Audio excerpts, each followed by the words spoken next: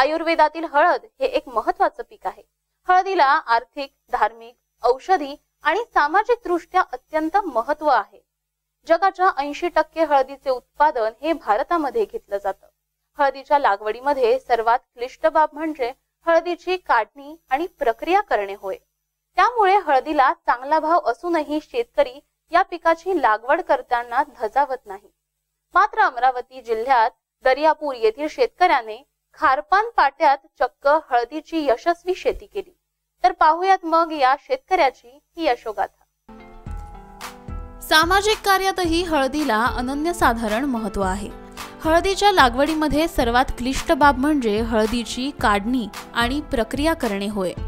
यामुळे हळदीला चांगला भाव असूनही शेतकरी या पिकाची लागवड करण्यात धजावत नाहीत. मात्र अमरावती जिल्ह्यातील दर्यापूर येथील शेतकऱ्याने खारपान पाट्यात चकई हळदीची यशस्वीपणे शेती केली.